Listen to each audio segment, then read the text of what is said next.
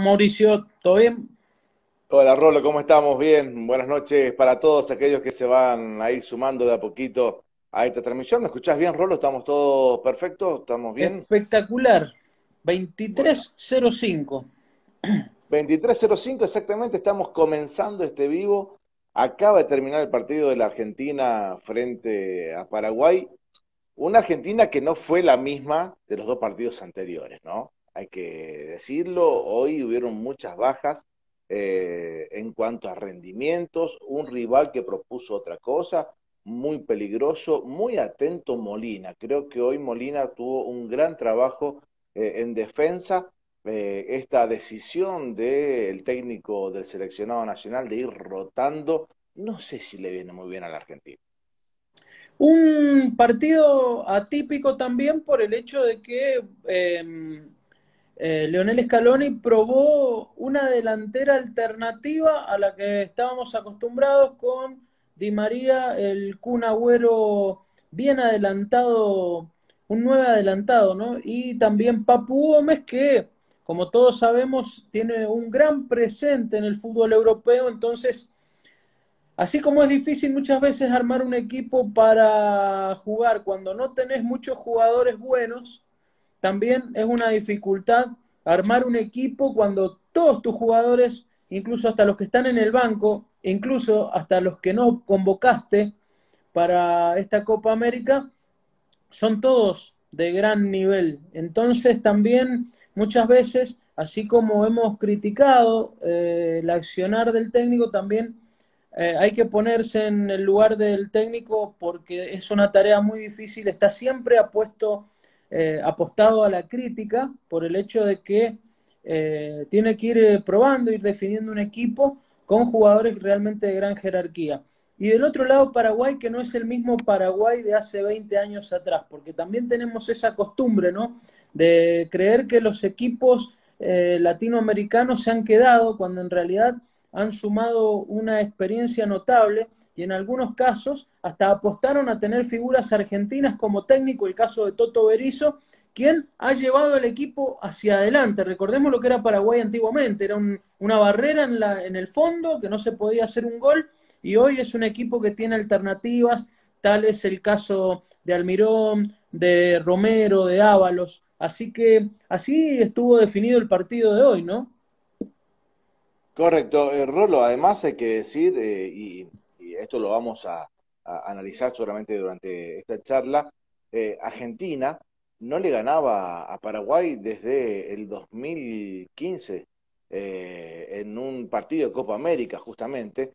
Después ha sido todo empate y una victoria por el lado paraguayo. Decíamos que viene con un historial de los últimos partidos, un karma para Argentina poderle ganar a Paraguay. Sin embargo, hoy al no tener un buen partido, eh, a diferencia de los otros encuentros del selección nacional, que tuvo un gran rendimiento con una cantidad de llegadas, con situaciones de gol clarísimas, en y, pocas llegadas al arco eh, de Martínez, debemos decir que tampoco tuvieron tantas llegadas claras el equipo eh, paraguayo sobre el arco argentino, porque si nos ponemos en las estadísticas, tiros al arco, remates al arco, solamente fueron dos y Argentina pateó cuatro veces, o sea que Argentina tuvo más remates al arco que eh, Paraguay, pero sí hay que decir que tuvo mucho más la pelota el equipo paraguayo, eh, tratando de, entrarle a esa selección argentina que armó un bloque en el fondo, donde trabajó muy bien en las puntas, sobre todo por la punta de Almirón, que intentaba llegarle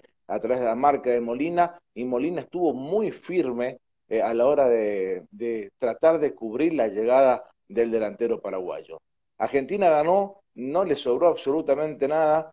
Eh, quizás en las en la estadística uno puede decir, bueno, eh, por los remates al arco, eh, quizás tuvo un merecimiento, pero en realidad no. en lo personal creo que hubo muchas, muchos rendimientos bajos el seleccionado nacional, un Messi que hoy a mí en lo particular mucho no me gustó, perdió muchísimas pelotas el delantero argentino eh, no iba a jugar de la partida, no iba a ser de la partida este encuentro, pero bueno, eh, ante la necesidad de conseguir los tres puntos y asegurarse la clasificación, eh, Scaloni decidió incluirlo dentro del once titular. Así es, y también, bueno, fue probando algunas alternativas y precisamente la incorporación de Papu Gómez cuando parecía, no parecía de la lista de los, de los que, de los que iban a estar presentes en el campo de juego, sin embargo, logró que a los 10 minutos del primer tiempo, tras recibir un pase eh, magnífico de Ángel Di María, lograse definir por encima del cuerpo de Silva para convertir el 1 a 0 que fue el común denominador de todo el partido.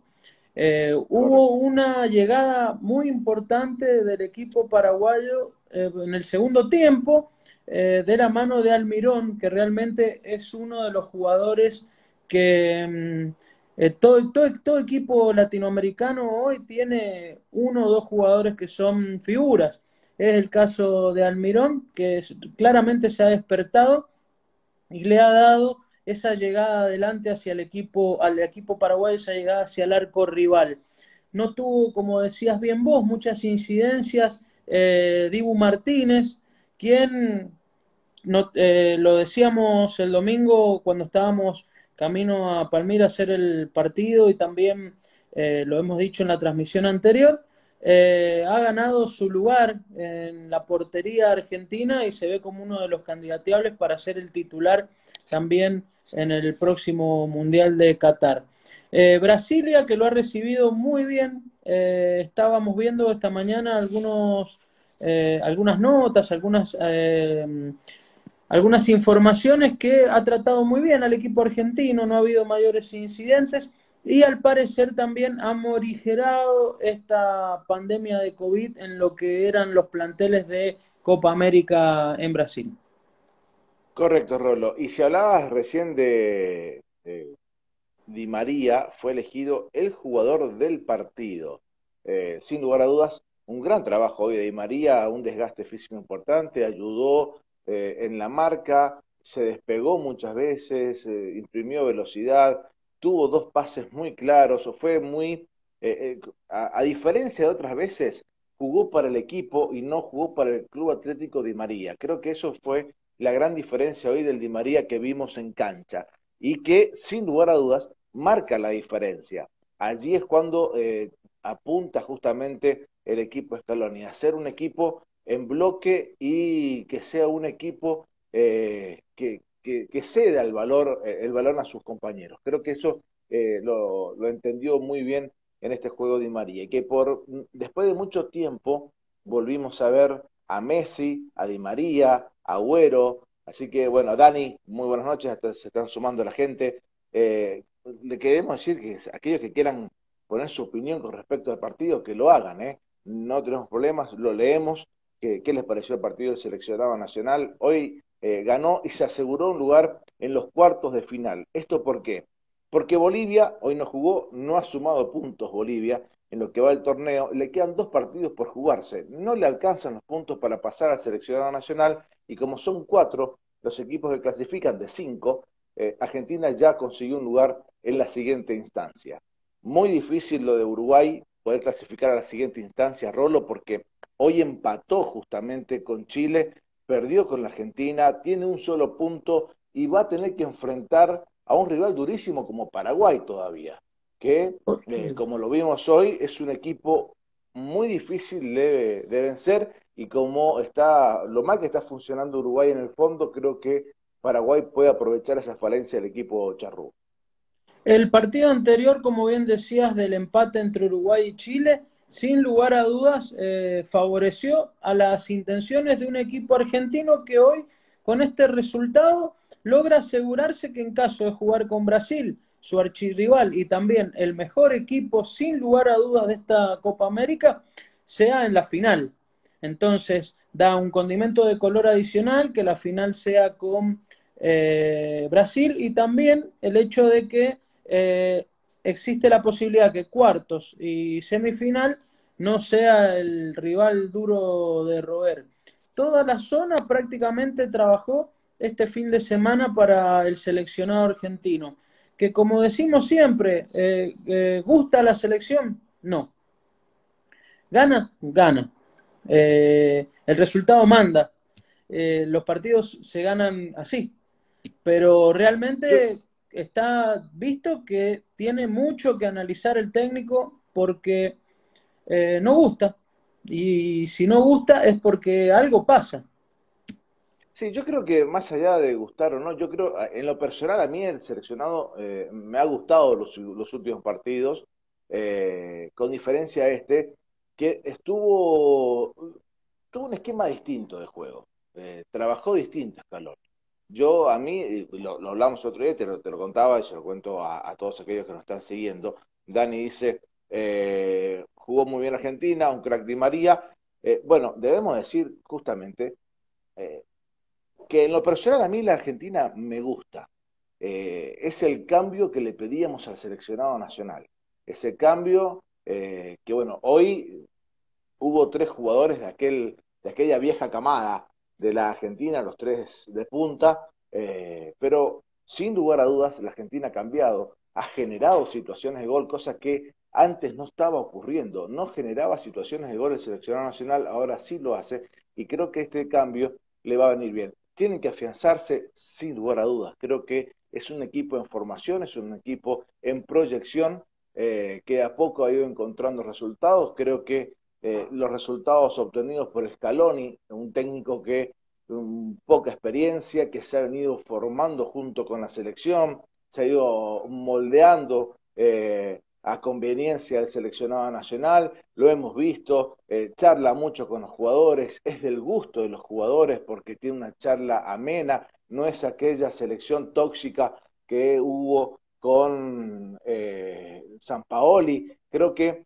hubo un cambio importante en el seleccionado nacional con Scaloni en cuanto al anímico y en las ganas de muchos jugadores de volver a, ponerse la camiseta al celeste. Habrá que ver qué va a pasar con Bolivia. Seguramente va a haber un descanso para gran parte del plantel, sobre todo para eh, Messi, creo que no va a estar siendo desde las veces titular frente a Bolivia, tendrá una semana de descanso, volverá a la Argentina inmediatamente en pocas horas ya emprende viaje a la Argentina para eh, hacer base nuevamente en Ezeiza y esperar el partido frente a Bolivia el próximo lunes a la hora 21. Correcto, porque recordamos que esta jornada 4, la próxima, ya eh, Argentina es la que tiene mm, de la jornada de descanso. Entonces vamos a tener por un lado en la zona A Ecuador-Perú, que va a jugar el próximo miércoles a las 18, a las 21 hará lo propio Brasil con eh, Colombia, gran partido, uno de los partidos que realmente vale la pena ver, eh, Brasil y Colombia. Ojo, yo creo que Colombia viene de perder con Perú. Correcto, una alegría muy grande para el equipo de Gareca que hasta el momento no había encontrado, no había hecho pie tanto en, en, la Copa América también como en las eliminatorias sudamericanas. Y Chile eh, va a jugar el 24, va a ser el, día siguiente, el jueves 24 a las 21, frente a Paraguay, a este Paraguay que hoy perdió frente a Argentina, y Bolivia hará lo propio también a las 18 frente a Uruguay. Eh, lindo, partido, lindo partido este de Bolivia frente a Uruguay. ¿Por qué lo digo? Porque los dos van a estar buscando un lugar prácticamente, porque Bolivia no tiene puntos y Uruguay tiene un solo punto en estas eliminatorias. Va a ser, creo que, un partido bisagra para aquel que gane este partido de cara al partido del día lunes, después, porque Bolivia deberá enfrentar al seleccionado nacional, mientras que Uruguay hará lo propio con Paraguay. Correcto, y por, también eh, eh, les debe pesar que hay equipos que ya están logrando el objetivo, como es el caso de Argentina, que es posicionarse dentro de los clasificados. Creo que ha sido, por decirlo de alguna manera, si hubiese que titular, ¿no? Eh, es el pase de Argentina a la próxima fase, aún restando partidos por jugar. Recordemos también que eh, este equipo deberá viajar a Buenos Aires, deberá tener también algunos eh, momentos donde el cansancio físico se empiezan a sentir, donde se empiezan también a sumar las lesiones, y es por eso que la plantilla es tan amplia. Entonces no, no veo una posibilidad nula de que muchos jugadores que hoy están en el banco de suplentes puedan, puedan llegar a redesarrollar algún lugar de titular en los próximos partidos. Tal es el caso, por ejemplo, de Julián Álvarez. Yo, eh, para mí, Argentina va a apostar el próximo partido frente a Bolivia, un equipo alternativo, dándoles más descanso a uno de los jugadores eh, para afrontar los cuartos de final. Eh, va a trabajar Scaloni en esta semana que va a tener de descanso. el equipo va a analizar, va a ver la situación, recuperar algunos soldados caídos, caso de Palacios, caso de González, caso de Los Chelso, jugadores que han tenido dificultades físicas en estos dos primeros partidos que venían arrastrando, en caso de Chelso, también dos partidos de eliminatorias. O sea que venían con una seguida de partidos importantes y es por eso que también se pensaba en Messi darle descanso hoy por la seguidilla de partidos que había tenido, cuatro seguidos prácticamente en un mes y continuar después con el torneo. Pero bueno, ante la necesidad justamente de conseguir los tres puntos, asegurarse la clasificación y ya pensar eh, en el partido del próximo lunes más tranquilo, creo que Scaloni decidió incluirlo dentro de los titulares porque había habido una charla previa en donde Messi no iba a jugar como titular, pero bueno, en esta oportunidad sí lo hizo a último momento. Argentina ganó, eh, clasificó y habrá que analizar ahora cuáles pueden ser sus potenciales rivales en octavos de final, en cuartos de final. Correcto, algo que me llamó también la atención, esta Copa América tiene muy pocos goleadores. Eh, han sido todos partidos con resultados bajos, 1 a 0, 2 a 1, 1 a 1, 0 a 0. Y esto hace que hoy eh, Ángel Romero es el goleador con dos goles. Creo que, creo que los goleadores, eh, los partidos con muchos goles han sido los de Brasil, que lleva convertido en dos partidos siete goles. y la Argentina tiene una característica el primer partido frente a Chile igualó 1 a 1 eh, y debemos decir que fue un partido dimensional. El segundo partido hizo un cambio. Eh, Scaloni incluyó en el equipo titular a Rodríguez, quien hace el gol. Ahora, Papu Gómez ingresa como también un, cambio y convierte, o sea que le están respondiendo los cambios a Leonel Scaloni.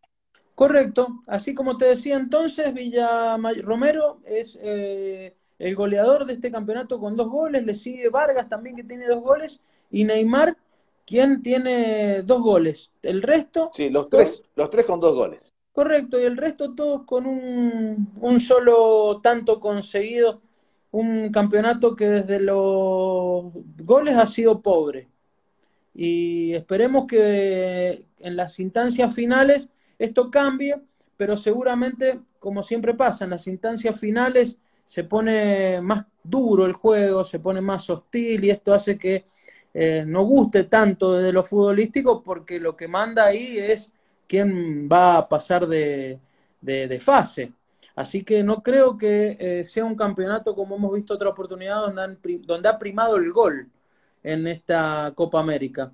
Las posiciones hasta el momento, la zona A, el grupo A, eh, lo tiene a Argentina con 7 unidades, Chile con 5, Paraguay con 3, Uruguay con 1 y Bolivia con 0. En tanto, el grupo B, Brasil lo tiene primero con 6 unidades, Colombia con 4, Perú con 3, Venezuela con 2 unidades y Ecuador con un solo punto. Eh, esta es la radiografía de esta Copa América 2021.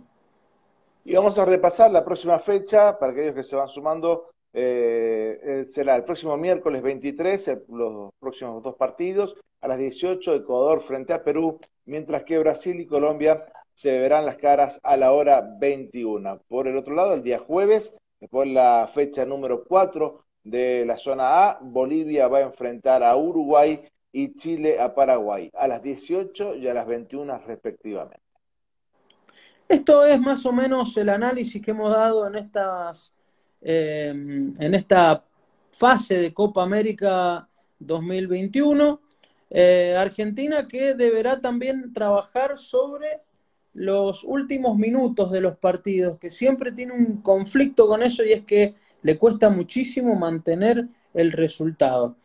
Lo ha logrado, pero es una tarea que seguramente se deberá dar en la práctica y en la charla técnica durante los próximos días. Sin lugar a dudas, eh, mejorar lo futbolístico de este partido de hoy, que fue muy bajo con respecto a los anteriores.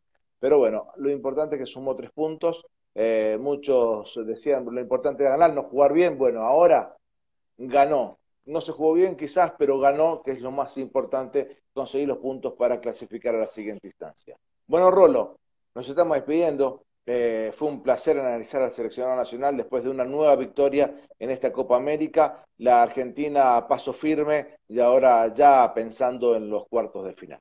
Los invitamos a todos, como siempre, a sumarse a nuestro canal YouTube, Informe 4, la comunidad más grande de suscriptores de la zona este de Mendoza. Queremos seguir siendo los más grandes, no por nosotros, sino para que podamos entre todos seguir eh, fomentando el deporte local, también el deporte provincial, el deporte internacional. Y por supuesto también eh, nuestro canal de Facebook, que recientemente colgamos, Mauricio, el partido que hicimos de Liga Mendocina, Palmira Chacras, y también nuestra página web www.informe4.com.ar.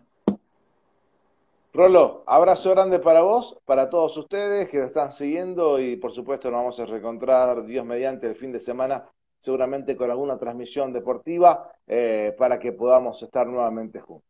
Abrazo grande, Rolo. Nos vemos. Chao, chao.